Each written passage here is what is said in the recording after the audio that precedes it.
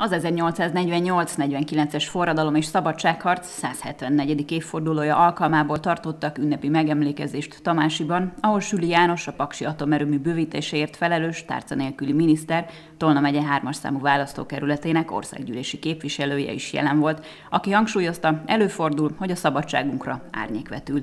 Tette ezt az előző évek folyamán a Covid, most pedig honfitársaink a háborús helyzet miatt kell, hogy átéljék ezt.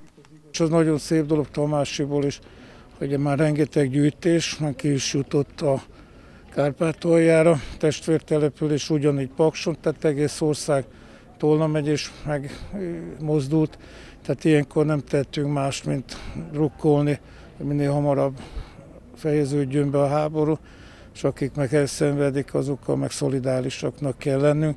Erről szól a mai március 15-e. Tamásiban hosszú évtizedes hagyománya van, hogy a Tamási Honvéd hősök síremlékénél történt megemlékezés után fákjás menet indul a városi megemlékezés helyszínére, a művelődési központhoz. 80-as évek óta én, én már gimis koromban, sőt már általános koromban, általános koromban is emlékszem rá, pedig az már jó régen volt, hogy, hogy fákjás felvonulás alatt végig a Szabadság utcán.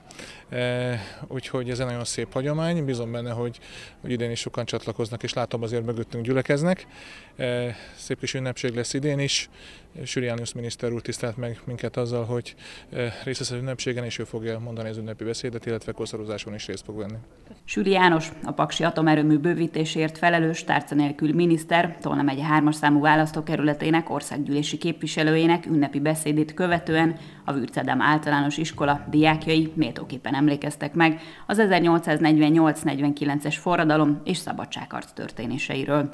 A városi ünnepség zárásaként a Kossuth téri Petőfi emléktáblánál helyezték el koszorúikat a város előjárói, helyi szervezetek képviselői és a megemlékezők.